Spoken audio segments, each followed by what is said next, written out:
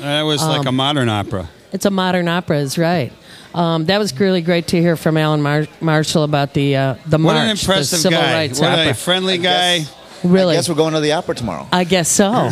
Well, we are so happy to have um, a champion, a friend, uh, a neighbor across town, and uh, this is the kind of neighbors Chicago needs more of. Folks who know each other from one side of the city to the next.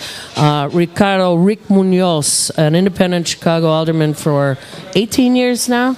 Uh, as a matter of fact, uh, yesterday uh, was my 19th year anniversary. 19 years in the city council. We, does what was the what year were you first? Did you first enter? 1993. 93. When our good friend Jesus Garcia became a state senator, I got to the city council. That's great. Well, you've you've done some great work for the city of Chicago, Rick. I just want to acknowledge Two acknowledge of my that. favorite guys. Thank you. Thank you very much. Exactly.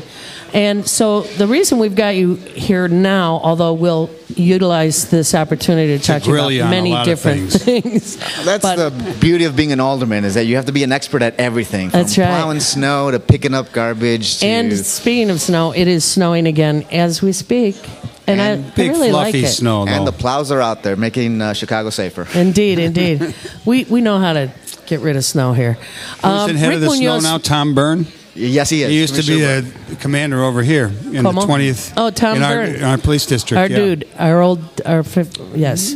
Uh, Rick Munoz, um, you are running for the office of the clerk of the Circuit Court of Cook County.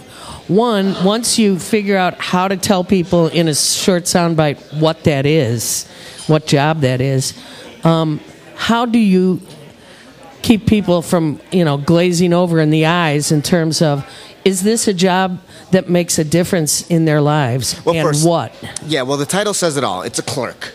Uh, it's a ministerial position that uh, administers and services all 469 judges of the Cook County Circuit Courts. And how many levels of uh, is that? Is that appellate as well, or is it just the?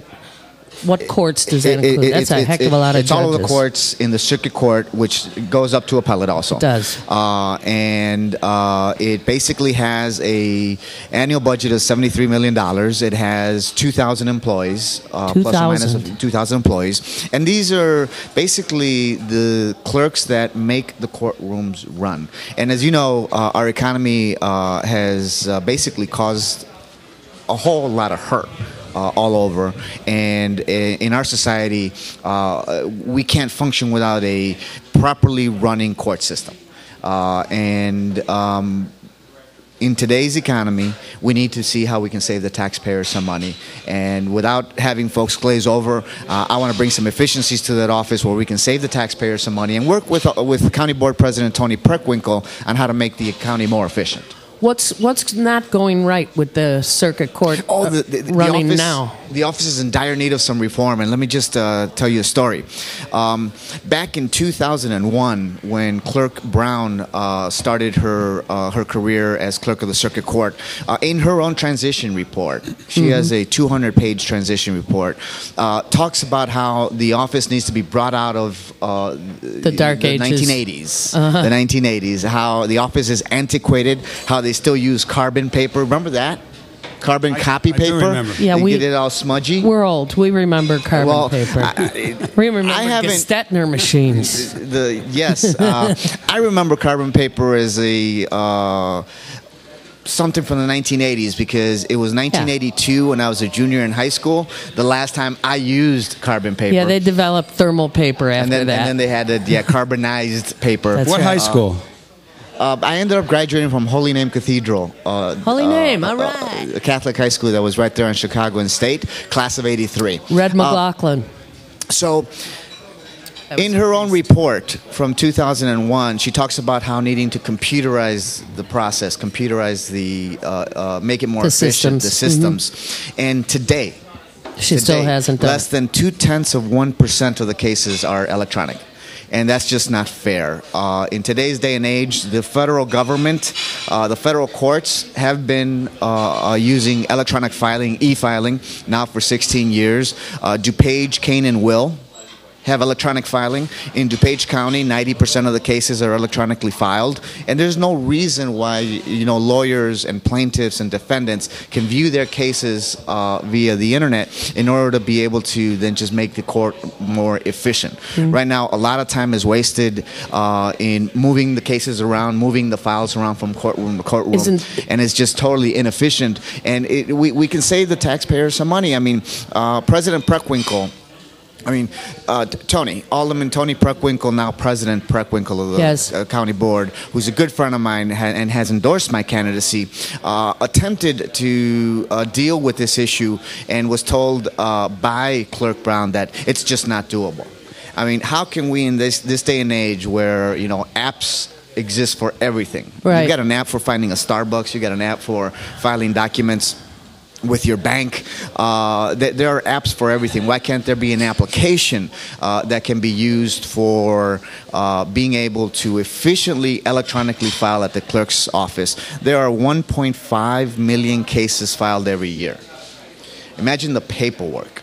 Now, does this is, does the normal do civil cases that normal everyday citizens can be involved in? Do they they are part of the that 1.2 million cases? Yes. So simple civil case. Traffic, in civil, other words, criminal. people who are not criminals still uh, are at the uh, beck and call of the civil of the clerk of the cir- uh, circuit court when they, are do civil served. cases. Yes, yes. Uh, the civil division, uh, which is the third largest division, uh, also uh, is in dire. I mean, the entire system is in dire need. How long reform. has uh, Clerk Brown been in office? Well, she was elected back in 2000.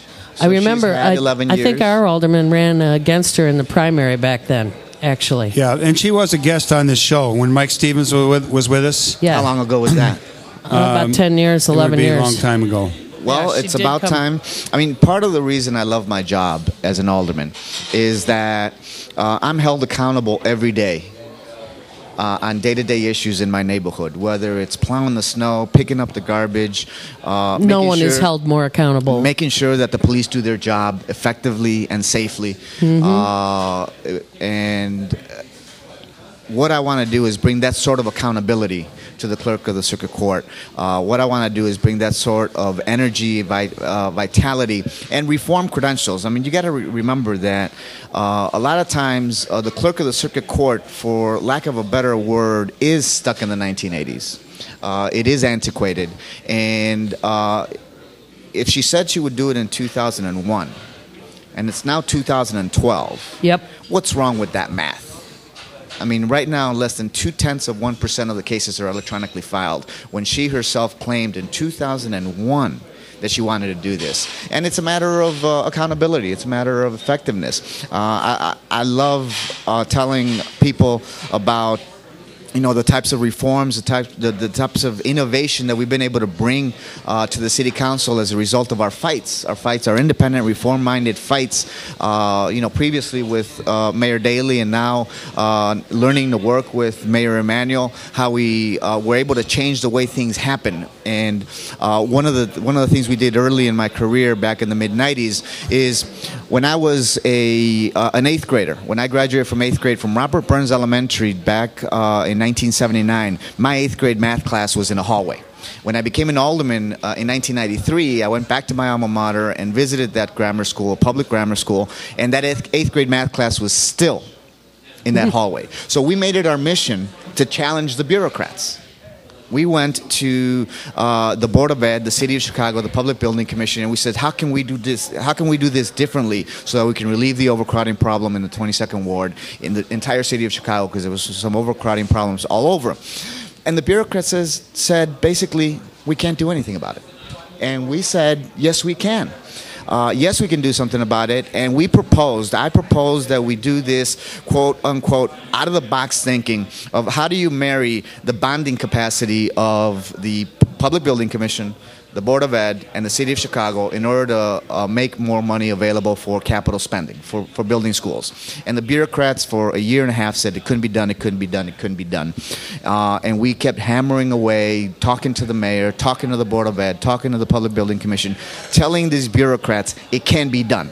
So in 1995, when Gery Chico and Paul Vallas took the Board of Education over, the first thing they did is they married the bonding capacity of those three agencies. And what did that mean? That meant that we had the largest capital expenditures between 1995 and 2001 that allowed for the construction of a ton of new schools all over the city. But more importantly, five new grammar schools and one new high school, all within two miles in my neighborhood to relieve the overcrowding. So that innovation, that push, Nice that work, Rick. Thank you. uh, that drive uh, that we told the bureaucrats, and I, and, and, and I, I like telling, t- telling this story because uh, bureaucrats think that they're part of the B team, uh, that elected officials are part of the A team. The A team is just who's around at, after that election cycle, and the B team is the bureaucrats that'll be there when you got there and they'll be there when you left. Right. And those bureaucrats just kept saying it can't be done, it can't be done, it can't be done. I told Mayor Daley, I told Gery Chico, I told the Board of uh, Public Building Commission, listen, guys, if we marry the bonding capacity of our three agencies, we will be able to bond out, to take out a mortgage Uh-huh. of roughly about four to five hundred million dollars that can go directly to capital improvements, can go directly to building new schools because in my neighborhood all eight of my schools in 1994 were 140% severely overcrowded and that's the kind of innovation that's the kind of drive. So- that's the kind of reforms that I want to bring to the clerk of the circuit court's office where we won't let the bureaucrats tell us it can't be done. In fact, streamlining the circuit court's office will involve uh, sending some people a home. lot of bureaucrats. You're gonna have Not to- necessarily sending them home, retraining them. You're You going know, to have some pink slips go out. There's a big difference uh, between uh, shuffling okay. files. Yeah, there's a big difference between shuffling files back and forth between courtrooms and making them available with the click of a Online. mouse. So, folks, uh, not it's not necessarily a reduction in force; it's a retraining in force. Uh, but uh, you know, we anticipate there will be some savings. I mean, our back of the napkins, uh, back of the napkin analysis is that we can save anywhere from 20 to 25 percent of her budget. Her budget is a $73 million budget every year to process these 19, 20 million what are, what are called case transactions. yeah. No, that's way And too much. th- it- It's, it's just way too much paperwork being shuffled when all you got to do is turn on the computer. Let me ask, how does the election look? You've got the endorsement of Toni Preckwinkle. Um, is this uh, does this going to come down to African Americans, Latinos, whites, progressives? How will that divide up? What kind of support do you have across the, the spectrum of our rainbow population? Uh, how is it looking in your polling?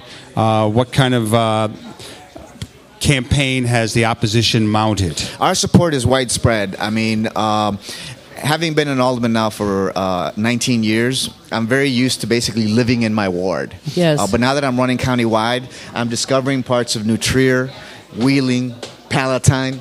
Uh, Rogers Park. Yep. Uh, although I'm uh, good friends with your alderman here, uh, Joe Moore, that I, I, I come and visit yes, but you do. n- n- not as often, uh, not as much as I'm doing now that I'm running for countywide office. It's a big county. I'm going down to Rich Township, Bloom Township, Proviso. Uh, it's a big county, and the campaign is going great. Our our support is widespread.